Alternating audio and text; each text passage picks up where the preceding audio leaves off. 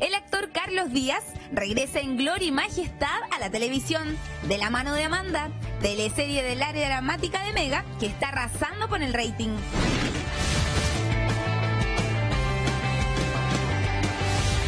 Carlos interpreta al malvado Luciano, el mayor de los cuatro hermanos Santa Cruz.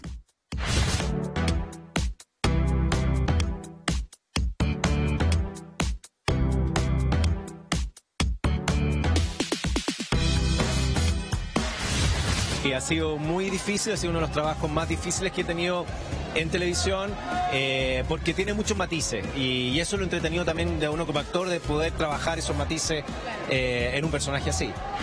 Según nos comentó el actor, ser parte del elenco de Amanda definitivamente fue un acierto, tras estar alejado varios años de la televisión. Feliz, estoy muy contento con la teleserie, estoy muy contento con el público, así que les quiero agradecer a todos por la gran sintonía. Eh, esperaba que, eh, bueno, era una gran teleserie, ¿no? Pero jamás pensé esta, esta resolución. Estamos muy, muy, muy contentos. Con 43 años, Carlos tiene 14 producciones en el cuerpo, entre las que destacan El amor está de moda y Amor a domicilio en 95, Adrenalina en 96, A todo dar en 98, Montecristo en 2006 y como uno de los pasteles en Soltera otra vez en 2013. Me da risa porque yo estuve en la última teleserie en Televisión, parece que nadie la vio, que era Buscando, ¿Cuál era esa? Buscando María, y parece que tuvo muy poco rating. Bueno, y antes de eso, Antes de eso, estuve, bueno, estuve haciendo cosas más chicas, estuve en Primera Dama, fue en el 2011. Y no solo de teleseries vive este actor ícono de los 90, sino que además sigue por supuesto haciendo obras de teatro. Y desde el 2000 es profesor en el Duo QC, donde hoy además ejerce como director de la carrera de actuación. Hago clase también en la Universidad de Desarrollo y he trabajado fuera de Chile, he estado haciendo clases en Abu Dhabi, en Nueva York, entonces me, y he estado haciendo mucho teatro. Entonces me, me- me he dedicado mucho más a la docencia este tiempo y ahora creo que era bueno empezar a trabajar en, en televisión nuevamente. Dicen por ahí que las segundas partes no siempre son tan buenas, pero para Carlos esa frase no hace juicio debido al gran momento que vive junto a todo el elenco de Amanda. Es un equipo maravilloso, eh, son unos compañeros de trabajo preciosos y yo creo que también eso se ve en pantalla, eh, la unión que nosotros tenemos y el trabajo que lo hacemos con todo el cariño. ¿Por qué los malos de teleseries nos parecen tan atractivos? Mira qué interesante lo que, final la periodista. ¿Por qué los malos de teleserie nos parecen tan atractivos, Natalie Chile? Ay, eh, yo creo que por la picardía. eh, claro, siempre además como eh, uno tiene como esa vuelta a la infancia donde a uno le gustaban los malos. Ya cuando uno pasa los 25 años, ah, para no especificar, no, tengo 31, pero para no especificar, no. Cuando uno pasa cierta edad ya no le empiezan a gust- a gustar los buenos, empieza a valorar cosas que son importantes para poder hacer alguna vida en común, digamos. Claro. Pero, pero en un principio le gustan los malulos, le gusta sufrir la intensidad, el drama. Entonces por eso nos gustan los malos. Oye, y además... Pero en este caso ese- rompe el molde. Sí. Porque él, él es el único bueno de los hermanos, o que hasta ahora se ha dibujado como bueno. Perfecto. De, de hecho, él no, supuestamente, como va contando la historia, él no participó de la supuesta violación de Amanda. Ah, ¿sí? Eh, eh, de, de hecho, él, a él la familia le ocultó ese secreto familiar. Ah. Él es el único como bueno y por eso se dibuja la teleserie como que Sí. se va a enamorar de No verdad. de Amanda. en eso, Mike. Más allá de que yo pienso que después va a dar un vuelco y va a ser más malo que todo.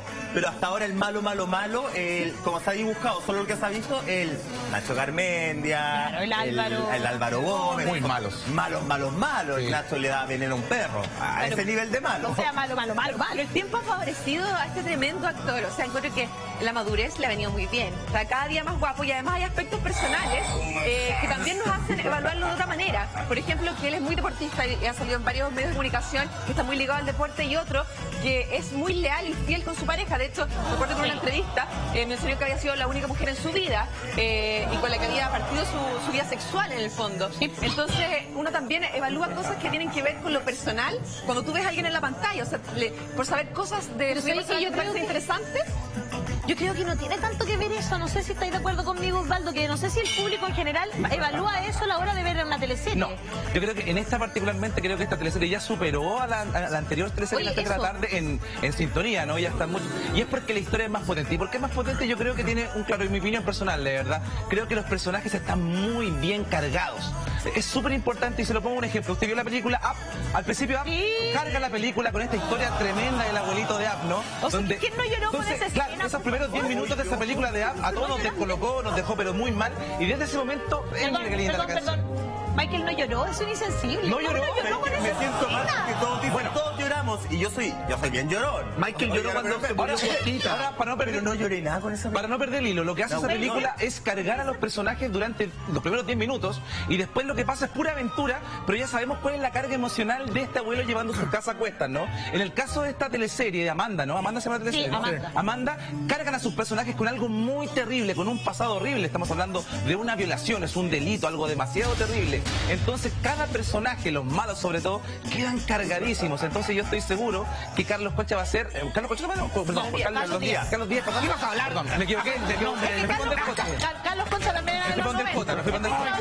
No, en este caso la particularmente creo que el personaje de él, Michael, permíteme decepcionarte por todo lo que yo veo, en algún momento creo que se va a volver maluco. No, pues yo también Espérate, creo yo eso. lo creo, Yo seguro que en base a lo que se ha mostrado muy bueno. Yo creo que va a Oye, girar. tienen bien las televisión, Amanda. cifras, sí. Sí, Y con las cifras que dice Osvaldo, eh, efectivamente, Te doy la vida se retiró como la teleserie más exitosa nacional a la hora del almuerzo con 16,8 y Amanda, que partió el 22 de noviembre, ya acumula 18,6. Increíble. O sea, Bien ya por ya le roba el trono a la teleserie Te doy la vida. ¿Sabéis qué? Pues, Yo también veo la teleserie. Antes me, me extraña que Michael no haya llorado con la escena que relataba. No, no tiene corazón, Yo- Michael. Lloró, lloró, lloró cuando se murió Cosita Paulina Nin y no lloró con esto. Pero bueno, son cosas- son cosas que pasan con Michael.